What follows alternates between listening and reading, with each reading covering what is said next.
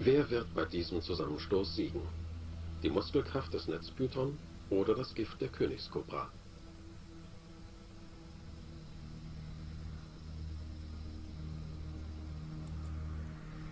Langsam schwindet das Leben aus dem Körper des Python.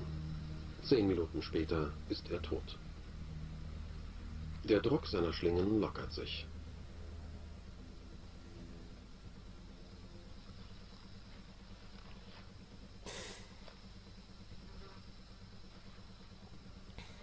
Den Python zu überwältigen war erst der Anfang.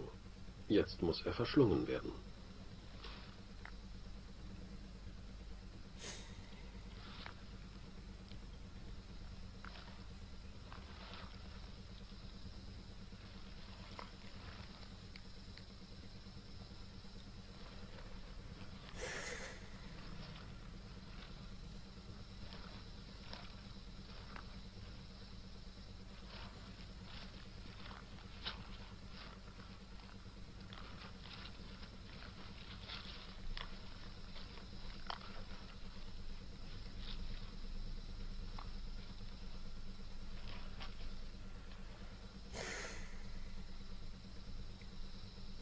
In der drückenden Hitze der Trockenzeit wird aus zwei riesigen Schlangen eine.